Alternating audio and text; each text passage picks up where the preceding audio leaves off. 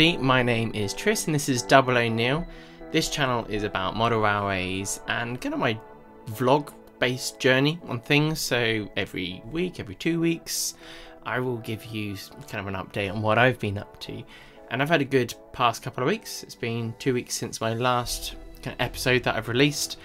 And in each episode, I try and share either part of my journey of getting a new loco, um, rolling stock, 3D printing an object for the railway, could be a building, could be something small, some painting. That's always good fun. I enjoy a bit of painting. It, you know, it's something that you can sit back and relax and enjoy, and we're going to cover that a bit on the video. We're going to cover 3D printing, two types of printing I want to talk about. I want to talk about a new loco that's come, as well as some new rolling stock. I want to also mention I had a lot of fun on my last stream, which was building a Metcalfe Great Western Railway signal box. And I will be very honest, I was impressed with the house that I built before. You'll see that on the stream before. And after that, I thought I'll get myself this wonderful looking kit. And I truly was uh, impressed when building it you think, oh, a card model, like how, how good could it actually be? But when you go through the process of simply following the instructions, assembling the sides, sticking the various bits together, and you get choices along the way with this kit. You can either have stone, like it is here, or you can go to brick. I chose stone. I uh, was chatting to, let's say, the community that was on at the time, and I said, brick or stone, everybody and everyone started putting their votes in and we picked it as we were going and we built it up. And it looks very very nice. I'm looking forward to putting it up on the layout to show you how it is. So there'll be some shots coming in now. Obviously be looking very nice um, sitting near the station because i have in my head an idea of where we start um, to get towards the bridge with the steel supports and the, the brickwork that's underneath it. Um, we'll have this just before it, just like at um, Nene Valley Railway, which on my last episode we covered and we could see a bit more of that. So that will be sitting there. I don't know if this will be a temporary thing until I decide to make one or paint it or whatever. Um, but this is lovely, just the way that it is. So I recommend trying out some of their kits. Um, I've ordered another one recently. Um, I won't disclose what it is. It will be on my next stream probably because it's nice to chat to everyone on the live streams. Um, it's nice to find out what you're up to and interact. So check it out sometime when I'm next on. I have no real plans of when I'm going to be on. But it's one of those things that I enjoy doing, and it's able, um, it enables me to talk to you. So yeah, wonderful, wonderful little um, station, station, signal box.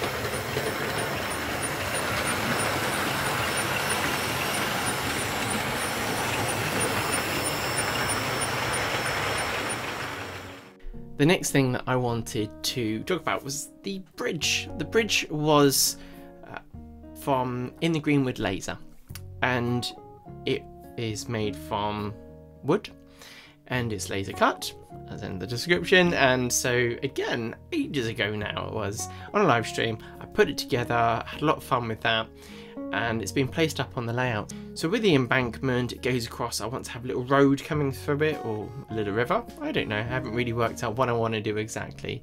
I just want to have some fun, that's the process. That's what it's all about. I'm assuming you're all feeling the same kind of thing, you want to just enjoy yourself, it's a hobby at the end of the day. So with that, I needed to paint it. One thing I don't have confidence on is painting with um, acrylic paints onto wooden surfaces. And what I've found, even when I feel like I've sealed it enough with primer, the paint kind of sucks into it, and that kind of never gives me that desired effect compared to when you do it on plastic. You can kind of dry brush things afterwards, just like on the wood, but when you want to put the mortar in and, and create all that nice look, with the laser cut bits um, cut always a little bit deeper, and the paint kind of you know, zaps into it and sometimes stains the top of the brick and had some trouble with it. So with this, um, I had a lot of fun. I thought, how about I lacquer it or varnish it, whichever way you want to look at it. And from there, it was a case where that surface is more sealed than it's ever been sealed. I then primed it afterwards. The paint still stuck on, which is great. And I had acquired some paints. Well, I brought them, and they're from Omen Miniatures. Let's grab the box. So this is Omen Miniatures. Um, they, I don't know much about them, but they do this little pack, and this was £44 for 20 sets, and they're quite large paint tubs. So the good size here. So how much is in here? Does it tell me? 18 milliliters. So that's actually, I find, good value considering some of the other pots are smaller and of same values. Um, so yeah, really, really pleased with these. And the reason I went for it is because they have a number of colours aimed at brickwork. So we have mortar, which is kind of, I think we're going to use that for the mortar. And then there's a brick base colour, um, carmine red, uh, vermilion red, and they're two highlights that one there as well as some other ones which has got like a red brown and that and I use them to do all the different bricks and everything so what I want to do is we're gonna flick on to painting it um, we'll have a little look at utilizing these paints to paint up what ends to be something that I'm actually quite proud of because I haven't had a lot of confidence with bricks it's still not as good as a lot of the brickwork I've seen. I've looked at some of the work that my brother's done, and he's fantastic with bricks. And he told me that he enjoys painting bricks, and I just thought, well, I don't at the moment, but maybe that would change. And maybe it's because I'm trying to paint the, the wooden construction based bricks. But anyway, let's go and take a look at that and we can enjoy a few shots of that being painted. And then we'll come back and have a look at some of the other great stuff that's been going on. So this is the bridge. We've got the kind of the steel section in the middle and the brick each side. I've lacquered it first to seal up the wood and then I've primed it um, that's try and seal the, let's call it the crevices where the mortar would be, or the mortar course. Using the brick base, which is kind of a reddy browny colour. I'm kind of really happy with how this colour looks. Um, I'm going to just directly paint all over this thing.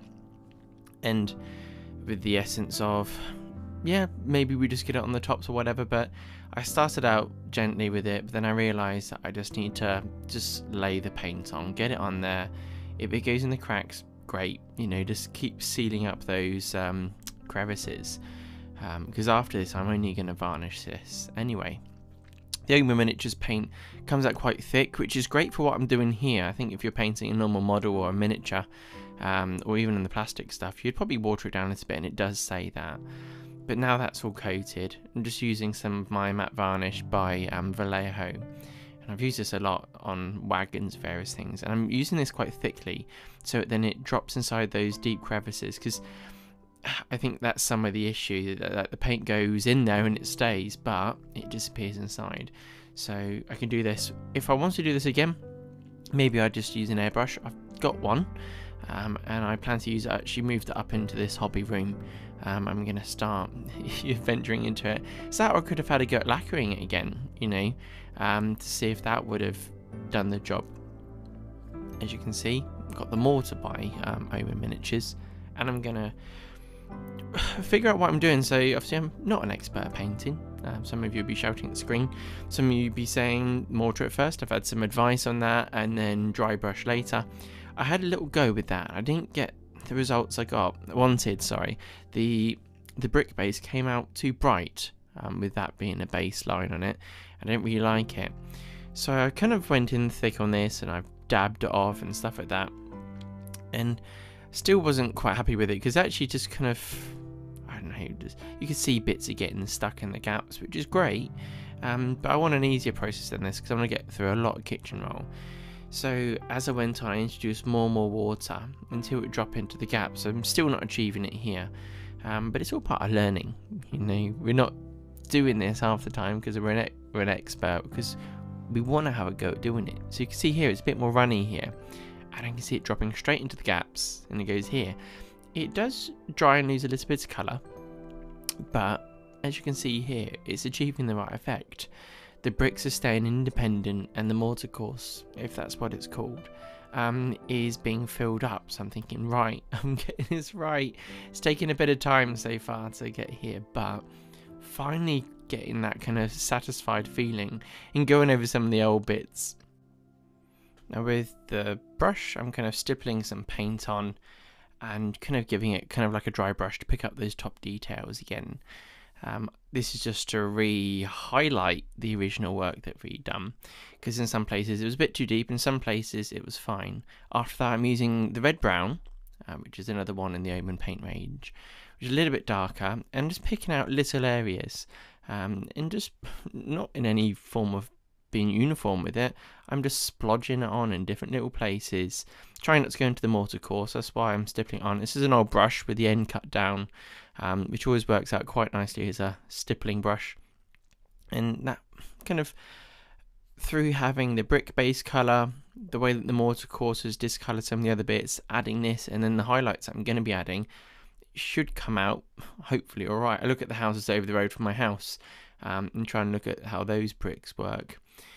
And yeah, you just got to keep going, do bit by bit until it starts well, looking all right, and you, you never know how it's going to look until it's all done, really. And you can always come back and do some weathering. I see a lot of brickwork looking very dark. This is the um, one of the highlights, which is the I think it's called Carmine, and that um, it's just more of a like a purpley red. Um, as you do see in bricks a little bit actually when you start looking at the walls. It looks quite dominant here, but once it was all painted, I was kind of happy with it. Um, I'm gonna keep learning. This was a much brighter one. This is the vermilion color, and I wasn't sure when I was putting it on. I thought this is quite bright, and I thought maybe I should mix it with some of like the brick base color. But adding little bits here and there and looking at it afterwards, actually, the brightness of how it looks here. When I do put too much on, I touch it with my finger to kind of squidge it out a little bit. But I just add little details in here and there, and like I said, I'm no expert at this, as you've seen by some of my other brickwork that I've done. It always ends up looking too purpley, so finally something actually looks more like a red brick, which is nice. After that, I use the mortar to represent what would be like the concrete section, um, which I guess has the steel reinforcement inside it, um, which would be on these side bits, and I run it down the lengths. You're not really going to see much of this. Um, I think you're only going to see one side of what is the eight sides eight sides, four sides. What am I about? Um, and you, yeah, you'll probably then see that it gets hidden by either a tree or I weather it or, or whatever. I don't want to weather now because I don't think there's any point. Um, I want it to match everything else that's going on, so I want to do all that stuff at the end. And also, I don't have a lot of confidence in regards to learning weathering. With these, I did like two or three coats because I like using acrylics, and you can go in quite lightly with the colours. Um, and if you feel that you've gone quite thick, I've just dipped my brush in the water and I just go back over again. Um, it's a case of uh, just you can you can add water. Basically, water gets rid of it. And if you hate what you've done, add a load of water with some tissue, and you can mop off most of it. It won't look perfect, but you can always start again. And the key part is being kind of neat and tidy about it. I'll try my best anyway. Um, really pleased with this anyway. So I had to move on to the steel bridge and I used the tarmac grey and the dirty black and I mixed them together to get what is a darker um, grey. I've matte black painted this. I primed it with some grey and then I used some matte black spray, just some Halfords jobby stuff. Um, pop that on, and then after I'm kind of giving it a rough kind of paint up really. Nothing that's too much to a plan, but I wanted to leave the corners dark um, and put some um, uh, you know high levels of grey. And this looks bright here but it, it when the acrylics do dry they go more and more to the original colour that's behind it you know more and more layers and get the colour you want which is kind of nice. You can't make too many mistakes. So after that um, I've added like bits in the center I start kind of dry brushing these areas with the much lighter greys um, and just to give it kind of a nicer look again I'm not an expert at this but I'm having a go um, so you can see just a bit of dabbing on there, a bit of dry brushing, and just picking out those little highlighted areas. Um, so hopefully it looks nice once it's together, but we'll see it. We'll put it on the layout, and yeah, I'm sure we'll come back to it another day. Thank you.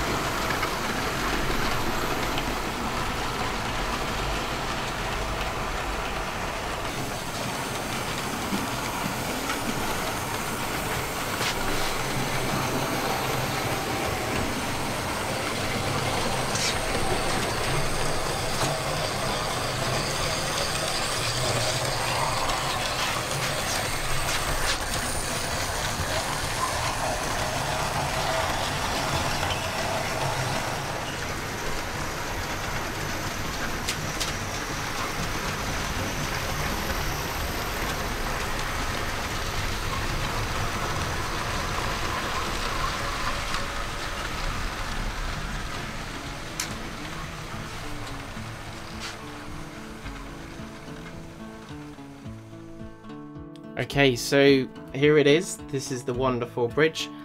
And that is going to be going up on the layout. And it's going to be supporting the track as it rocks on over.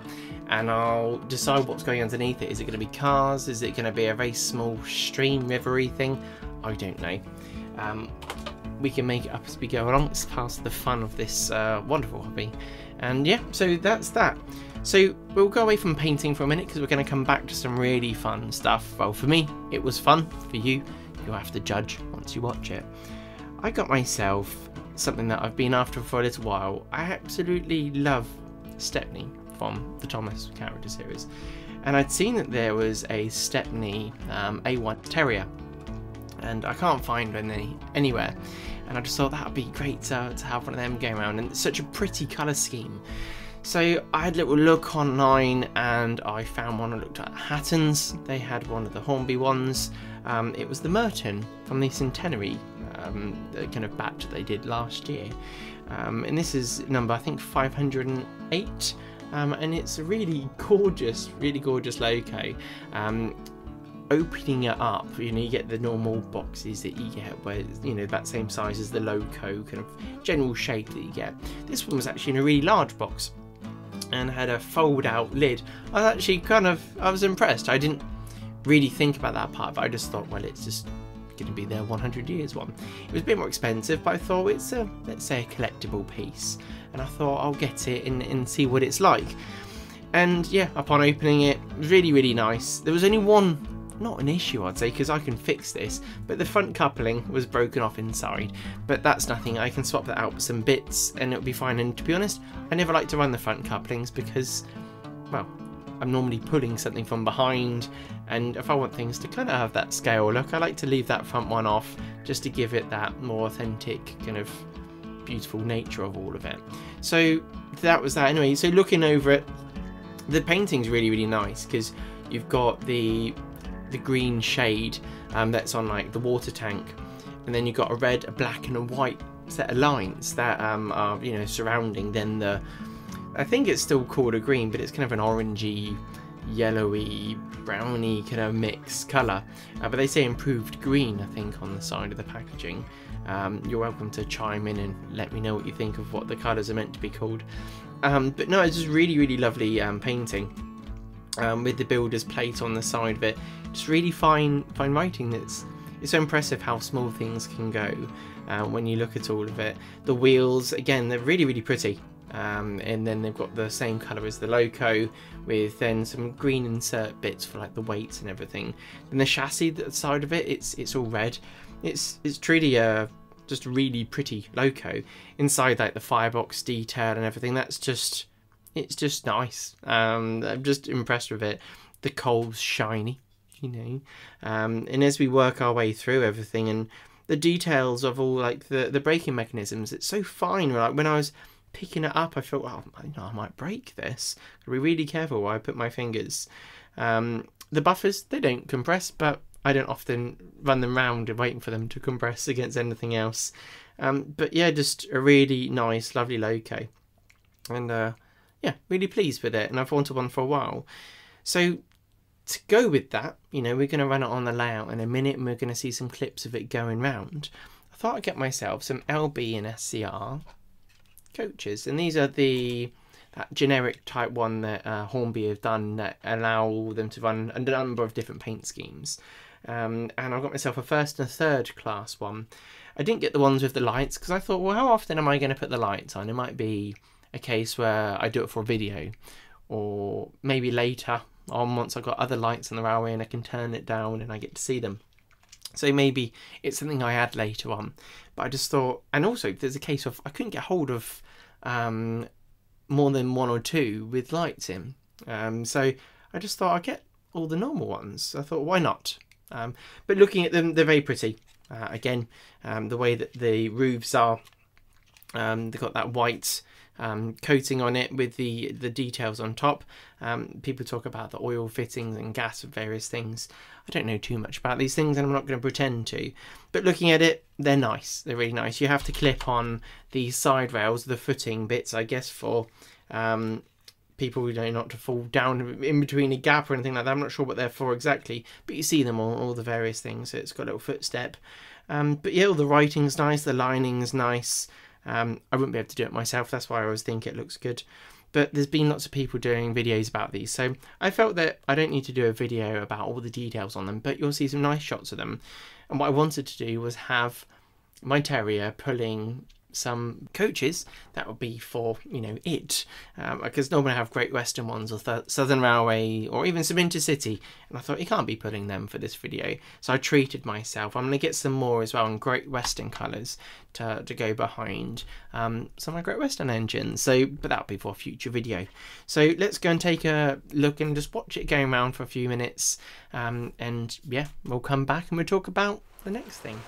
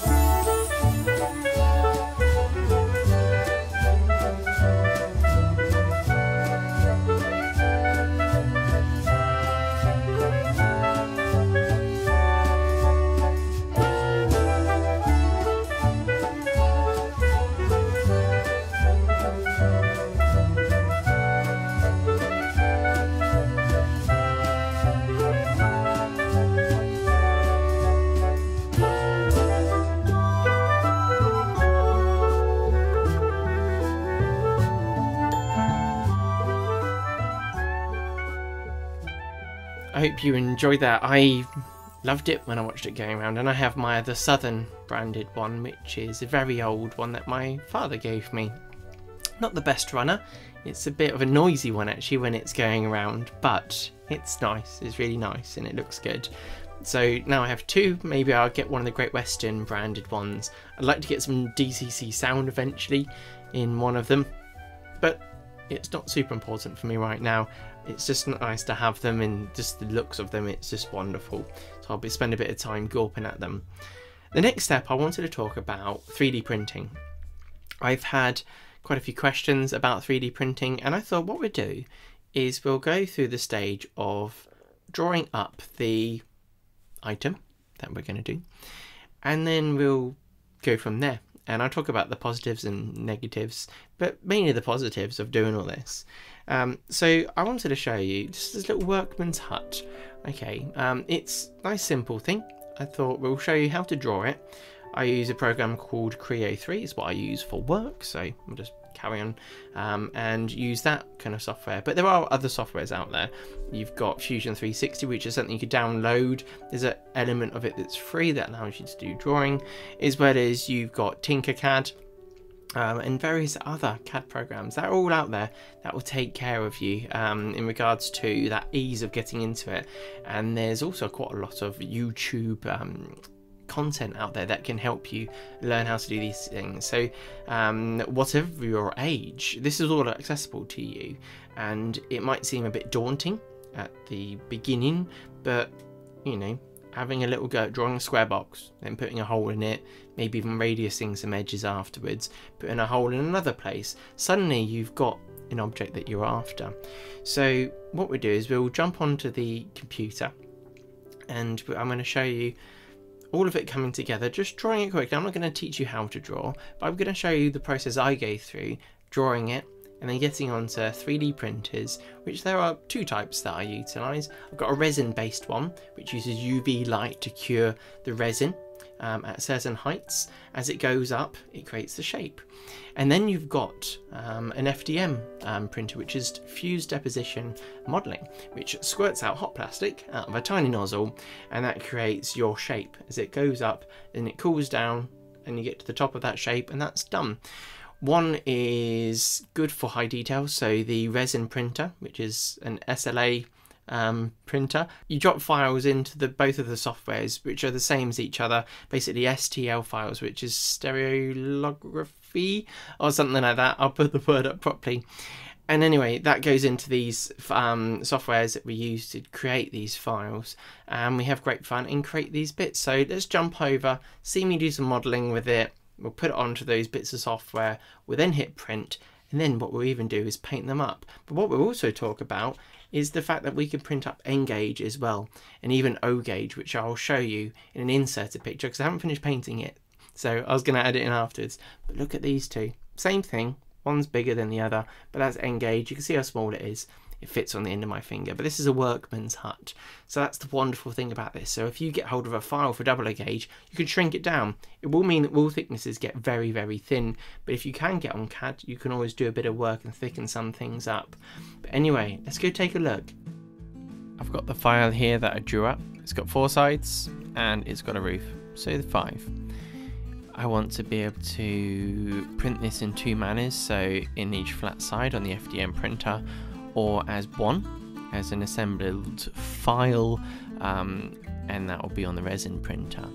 So I need to start with something. So I'll start with the front so I can work out proportions. It's the tallest side, so we can have a door on there and some windows.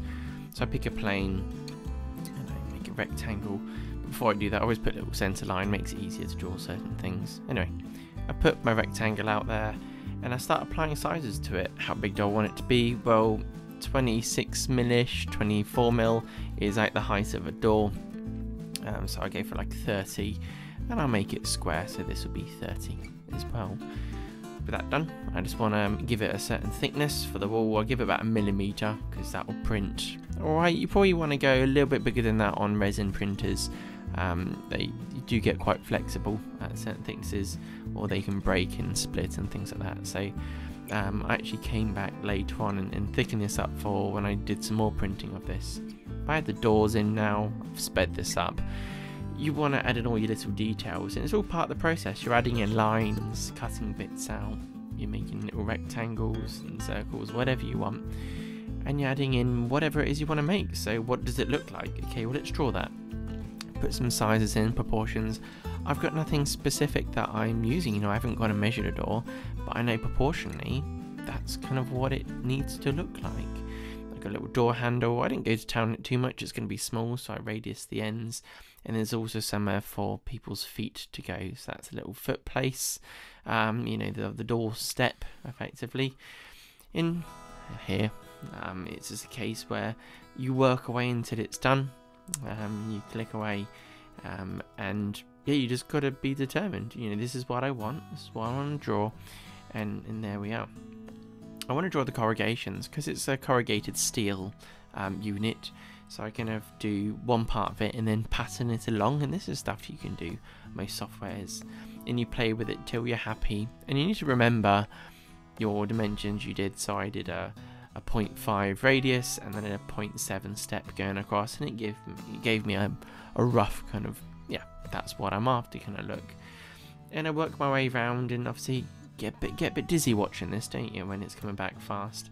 But if I did it in the slow speed it's about 50 minutes it took me to draw all four sides and the top.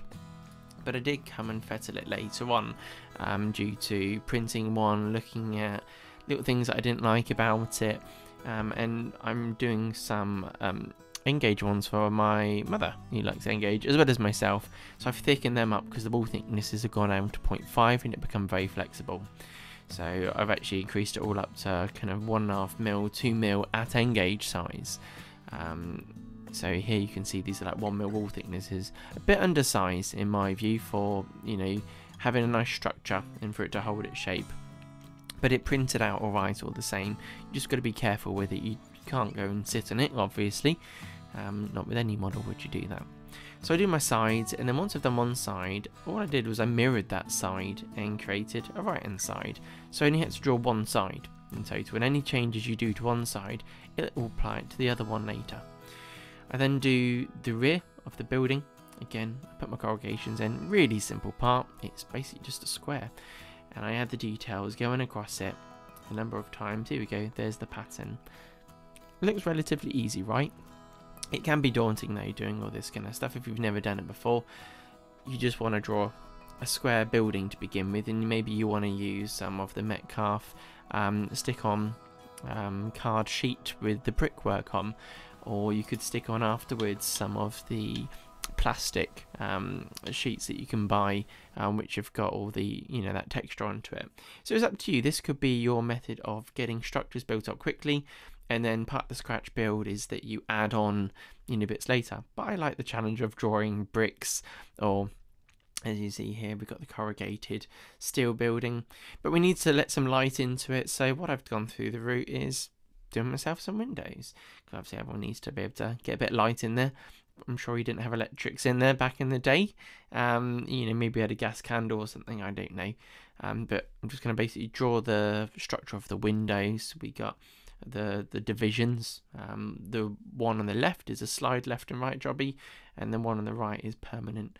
So once that's done, it's a case of let's pop a roof on it. And again, just like all the other bits, I make my corrugations and I pattern it across. Here it is, and it comes across. There we go. That's the roof. Now I'm just going to do some drop down side bits that kind of enclose the top and I guess stop it falling apart or whatever and they also give you something to paint that lovely dark stone colour of the Great Western Railway or whatever railway that you like. Um, so it's very simple. We can see what I'm doing. Each stage of it is you're drawing a rectangle most of the time, or you're doing a circle, or you're patterning it. And you can do this on nine every software that's out there, kind of thing. You just got to be patient if you want to learn it and, and have a go. You can draw anything you like to the most complicated part, but you just got to learn well, what button does that for me? What icon do I need to select on? Do I need to generate anything else at the same time doing it? But once that's done, I was happy with it. I now need to take that um, out of here as an STL file. And that's a stereolithography file. Didn't say it right before. Um, and to do that, I just hit save as and I changed the saving type from this is a PRT file to an STL file. And that'll come up with this export bit here. And on the chord height, I always pop zero and it gives you a minimum of a 005. Creates all these tiny triangles over every single part. We then bring that into Cura. Um, actually, Cura is what I use for the um, FDM printing. This is Chitubox, um, which I use for the resin printing. And I come in here and I have that object which I put at kind of a 45 degree-ish angle so then I don't get stepping because you've got little uh, pixels that display where it wants to print the bits. And if you have it let's say too flat by an angle you'll see these ridges build up. And that isn't good I want to make my N-gauge one here as well so I can scale it and literally because it's 4mm to 2mm going from 00 to N I just go 50% here I might be wrong in doing this, but this is what I understand. That's that.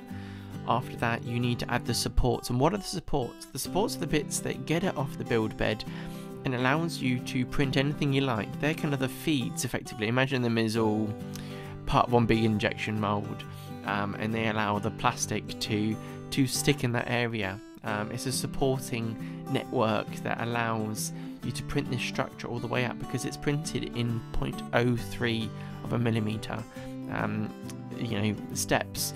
So you can't just print a shape in air because all you do is you get a blob of resin at the bottom of your um, bath that you know the resin is sitting in. So we need to somehow connect everything up this one wasn't perfect exactly because I didn't pick up enough of the back of the first edge so you actually lose bits of detail at the beginning and that ends up being um, at the detriment of how good the model looks because you have kind of loose resin floating around or sticking to what you're doing next. Um, so the better you do this, the better results you're going to get. I'm going to add a few of these kind of lighter um, tree supports.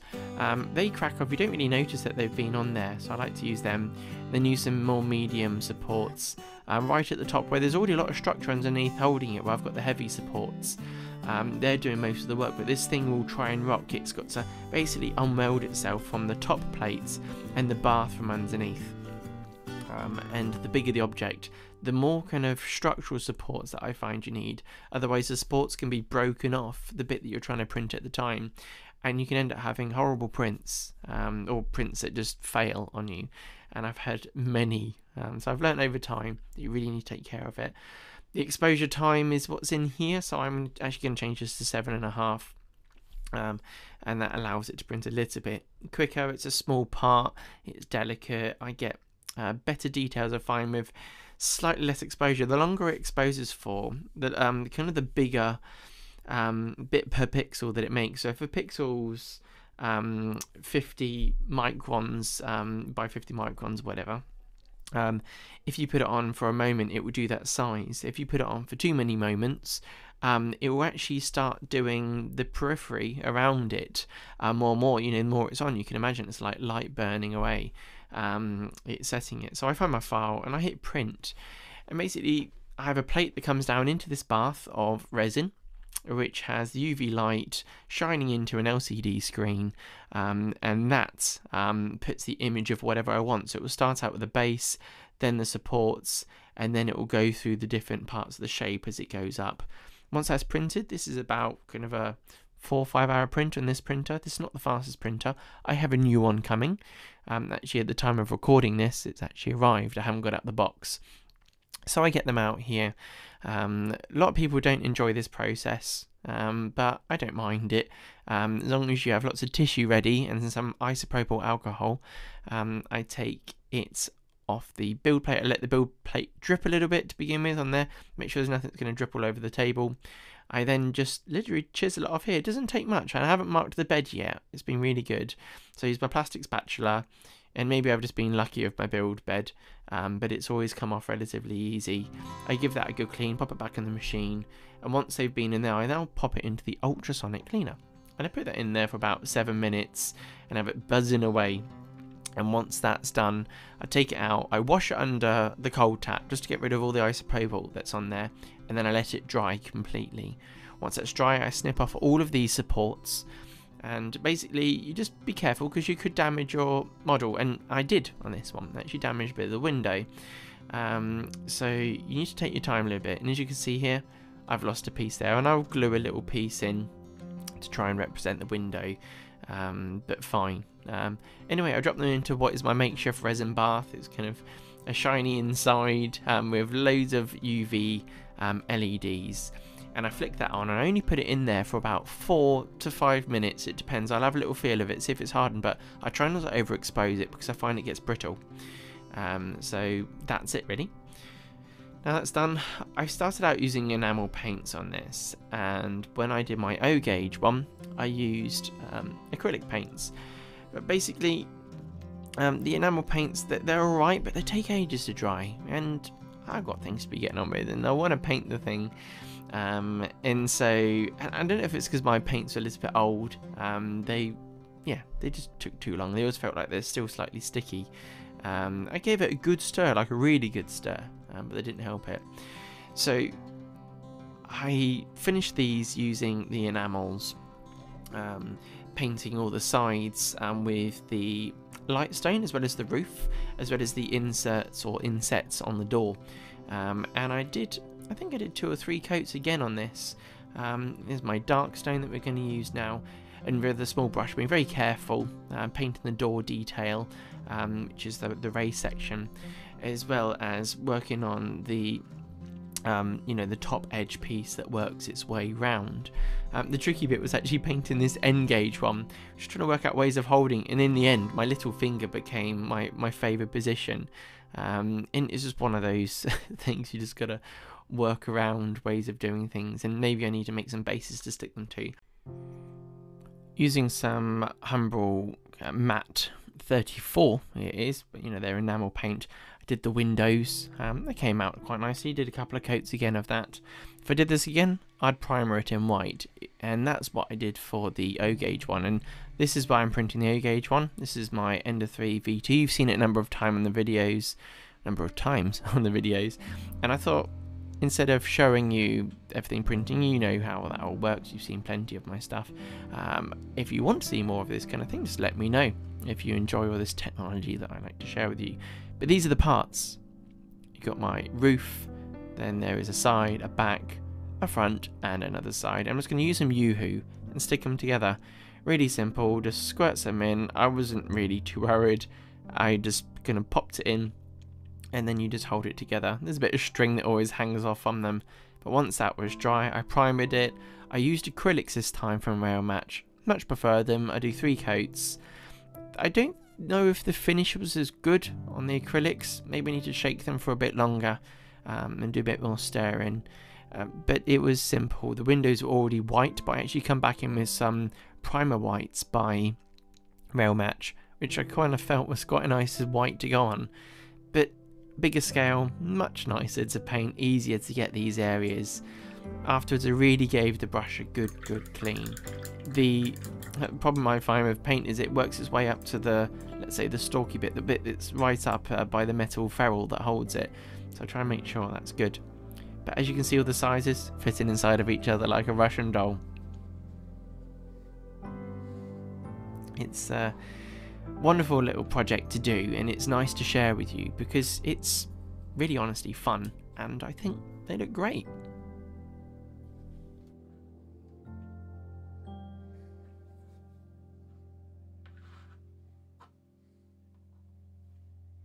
Can you see the advantages of all this then? You can have um, the 3D printer to create what you want and you can create lots of them. You can paint them afterwards.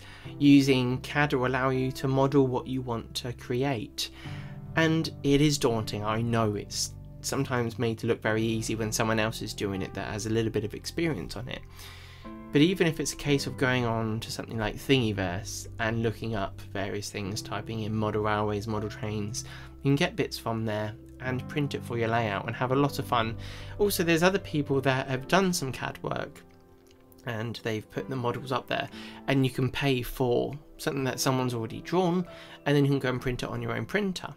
Um, or there's the next step of going through Shapeways, and they offer that service of printing things, um, you know, and sending it to you. And there's lots of printing services out there. So it's a case of, you know, if you want something kind of special, specific to your requirements, it can be done. Um, I'm not someone that's kind of delved into scratch building yet. I do various bits and bobs, but I enjoy modelling on the computer. And if I do need to scratch build, I will do. I'll kind of get my fingers dirty. I'll be drilling holes, cutting things, filing, gluing bits together. But I hope this has helped in some way for you getting some confidence to do some modelling of some way um, in the way of 3D printing. Um, the printers aren't massively expensive. If you did want to get into it and you were going to use it you know divide it up by the amount of prints you do it's really worth it. Um, some people might think oh this is expensive getting into this. Buying a 3d printer just to print that. It's like well no i'm going to print hundreds of things maybe even thousands. Give me enough time. Um, and it really becomes a really useful fun tool that you can use. You can watch it create in that moment as it's growing up. And that's one thing that I love about it, and I like being creative, uh, coming up with ideas. You know, then you draw it, you put it on that software, we then print it, and then I can paint it, and then we put it on the railway, all part of the big grand plan. Anyway, I'll stop talking about 3D printing, and I'm gonna leave you to it. I'd like to say big thank you, as always, to people that have been subscribing to the channel. I enjoy connecting with you through your comments, through the live streams. I even put a poll up recently to find out what era you like, and it seemed to be popular that it was up to the 1940s was the most popular, um, and then there was the period up to 67 that people were clicking on the most. And people were kind enough to even write on the comments afterwards of what they liked about those eras. And so, yeah, I might do a few more polls for you to kind of give me a bit more information about what you like. I like kind of everything. I'm that guy that's annoying that can't give you a straight answer. But I love the Great Western Railway. That's one of my things that I love. But I like the also the blue and yellow ended um, BR engine locos. Um, I'm not really into the modern day stuff. It's interesting enough as it goes past, but I'm more into those two periods to be open and honest about it. But when there's a good looking loco like this Terrier coming up for sale, you gotta get it. Anyway, big thanks to my patrons. You've decided to support the channel, which is really wonderful, and I must say thank you as always on that one. If you wish to become a patron, look in the see more tab below, and you can do that. If not, hit the like, maybe even subscribe to the channel if you aren't already a subscriber. It means a lot, and it helps the channel more and more. Um, and yeah, I'd like to grow the channel and enjoy meeting more and more of you and hearing what you have to say um, about what I'm doing, and I want to hear about what you're doing as well. Okay, well, see you soon. Take care. Look after yourselves. Bye.